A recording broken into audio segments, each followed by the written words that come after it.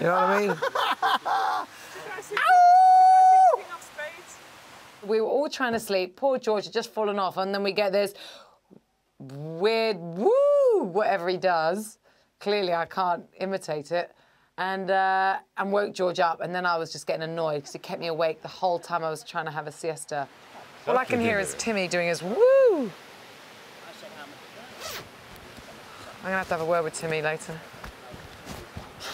Guten Tag! Guten Tag, mate. You think you up in laundry for these nutters?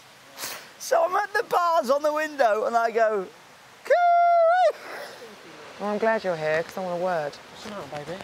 When you and Timmy go off doing your thing, cool, whatever, no one's got a problem with that. It's this fake whooping and everyone's trying to sleep in cam and everyone's I'm just not woken up. Not you, but I mean, you're loud, but you're loud and we know you're loud. Yeah. But I think you don't encourage him purposely, but he gets overexcited with you and he does this fake, you know, you know what I mean. I can see he's doing everyone's nutting. I can see that. Pull him aside and tell him to just drop it because Hmm. I'm going to just, I just run out think- that bus one and go, shut the f-. Yeah, me too. I'm going to get a mallet and whack him over the head with it. I feel really two-faced because when I have a one-on-one with him, I think He's all right. Oh, you're all right, and Yeah. then I think you're an absolute.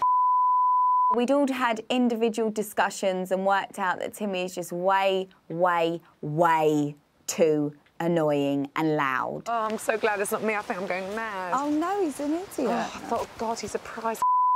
Bish, bash, bosh wide away, because it all came down because of the mallets. Blah! I actually cannot bear to be in camp with him. Oh, no wonder he hasn't been on telly for that many years.